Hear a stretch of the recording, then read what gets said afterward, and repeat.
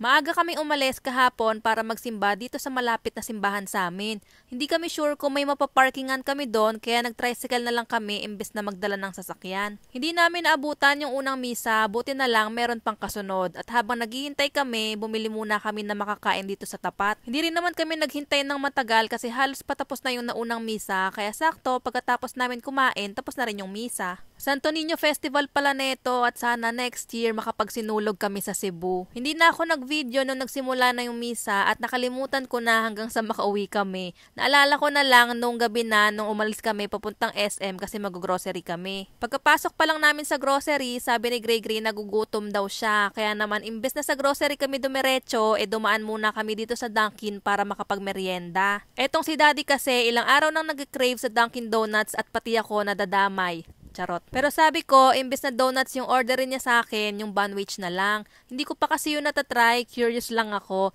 Tsaka medyo umiiwas na talaga ako sa mga matatamis kahit na sobrang nakakatempt talaga yung mga donuts nila dito. Buti na lang din, medyo mahaba yung pasensya ni Gray Gray noong time na to kahit na ang daming tao. Very willing pa nga siyang kunin yung mga in-order namin. Masunurin talaga yan pagdating sa mga ganyan kasi gusto niya kasali siya lagi sa mga ginagawa namin. Munchkins yung in-order ni Daddy para kay Gray Gray kasi kapag yung mga regular na donuts, nako yung icing lang sa ibabaw ang kakainin niya tapos ititira yung tinapay. Pero kapag ganitong munchkins, ubos yung ganito, walang natitira at approve na approve pa nga sa kanya. Kay Daddy naman, etong Dunkin yan at isa to sa mga favorite ni Daddy sa Dunkin. Akala ko nga makikipagpalit si Gray Gray pero hindi niya pinansin yung Dunkin yan. Umorder din pala si Daddy ng kape niya dito and maya maya dumating na rin yung order ko na banwich. Marami pa tong ibang variants pero yung ham and cheese yung in-order namin. Akala ko naman may something special dito kasi kakaiba yung pangalan niya na banwich pero parang regular burger lang siya na ham and cheese burger or ham and cheese sandwich. Pero masarap naman siya. Gusto ko yung sauce niya or ano bang tawag doon yung palaman na medyo cheesy. Nung nakita nga ni Gray Gray na may ham yung kinakain ko, ayan kinuha niya kasi mahilig talaga siya sa ham. So ang ending parang cheese sandwich lang yung kinain ko. Ubus na kasi yung donuts ni Gray Gray tapos parang gutom pa rin siya.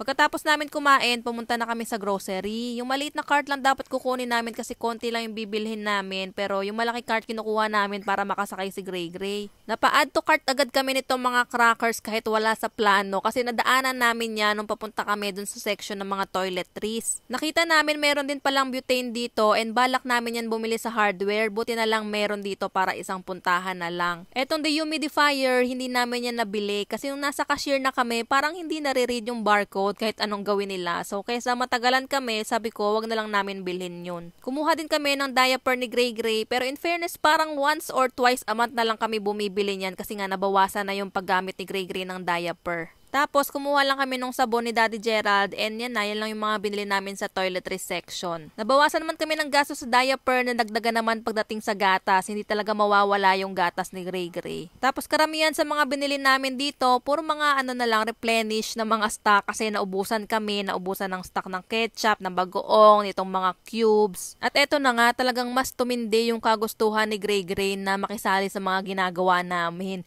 Kasi usually, sa cart lang talaga siya, doon lang siya nakaupo po. Pero this time, nagpababa siya kasi gusto niya, siya na yung kumuha ng mga kinukuha namin. So kahit na pampatagal talaga, hinahayaan namin siya. Basta we make sure na safe yung mga hinahawakan niya, yung mga hindi babasagin. Kulang na lang talaga pati pagbabayad sa cashier, eh siya na yung gagawa. Siguro sa next vlog namin, sa next grocery vlog namin, baka siya na yung nakikita nyo na nagbabayad sa cashier. Napaka-observant din kasi talaga ng batang to. Talagang titingnan niya lang parang alam na niya kung paano gawin, ganun. Anyway, habang kumukuha kami ng mga frozen goods, si Gray Gray, pinaalala niya yung cheese niya. Last time kasi, dun kami sa Walter Mart na grocery at walang available na cheese doon. Talagang dito lang kami sa SM Molino nakakabili neto. Kaya kapag nandito kami, kumukuha na kami ng maraming cheese. Kaso, nung time na to, isa lang yung nakalabas na stock. Pero meron pa namang box doon sa likod. Hindi lang namin sure kung pwede ba namin buksan yon. Buti na lang may nag-assist sa amin, binuksan niya yung box, tapos kumuha na kami ng apat na piraso para marami na kaming stock sa bahay at hindi na maubusan si Gray Gray. Pagkatapos namin dito sa grocery, dinala ko naman si Gray Gray dito sa arcade kasi si Daddy Gerald nando naman sa barbershop para magpagupit.